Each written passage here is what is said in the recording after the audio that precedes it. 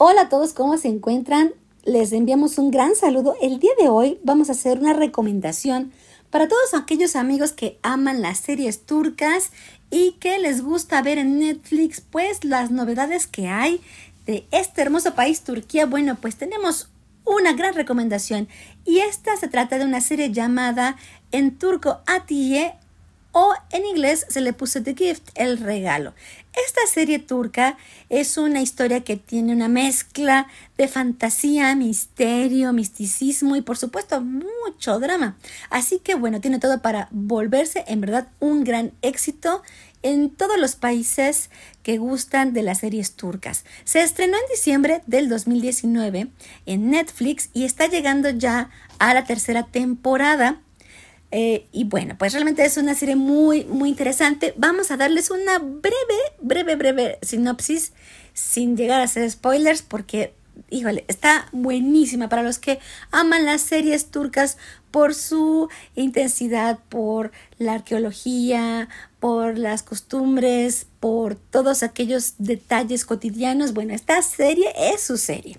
Comienza la historia con una mujer que lleva una vida casi perfecta y que está a punto de cumplir su sueño, pero va a pasar algo que va a trastocar su presente y sobre todo su destino.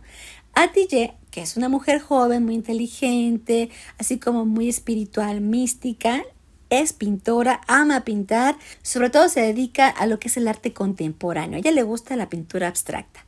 Desde muy chiquita estuvo siempre pegada al pincel, a ella le encantaba la pintura y sobre todo tenía como una tendencia a ser un símbolo especial eh, que para ella tenía un gran significado, aunque parece que no tenía ninguna resonancia con otra cosa.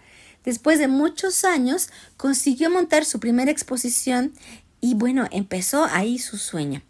Al lado de ella está Serdar, su novio prometido con el que ya se va a casar. Están ya eh, a muy poco tiempo de irse a vivir juntos. Él es muy cariñoso, es adinerado y además, pues un gran compañero al parecer. Entonces, bueno, tiene el sueño redondo para una joven de su edad.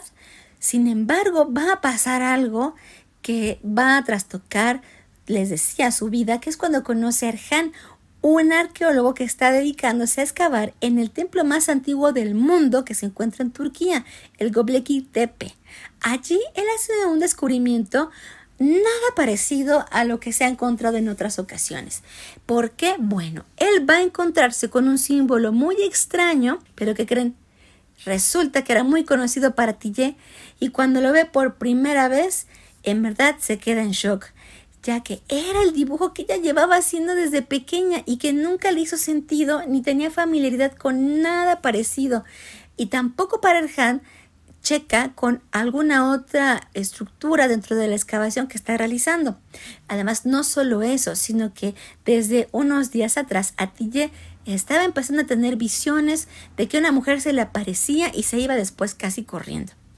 Así que luego de hablar con su médico y con su psicóloga, no se queda tranquila y cree que esta mujer quiere transmitirle un mensaje. Poco a poco Tille lo que va a pasar es que va a descubrir su pasado a pocos días de su boda. Así que ella va a agarrar su carro, se va a buscar a Erhan y se va al templo para ver dichas excavaciones. Por supuesto, Serdar no entiende lo que le está pasando a su mujer y sobre todo por qué le está haciendo eso antes de la boda.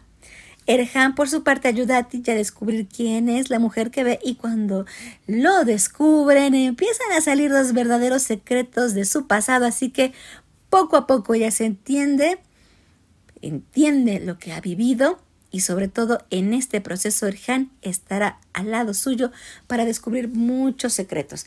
Esta historia, amigos, les digo, ya va para la tercera temporada, pasó la pandemia, sigue adelante. Es muy interesante porque en general eh, los turcos, justo por su religión, no tienden a crear estas historias donde se hable de reencarnación o de alguna cuestión en una vida pasada. Así que vale mucho la pena verla. Está muy, muy interesante. Lo que se antoja sobre todo es ver esos escenarios donde transita la historia. Así que no dejen de buscarla en su plataforma. Y bueno amigos, reciban un cordial saludo. Nos vemos pronto. Soy Raguru Shurus. Hasta luego.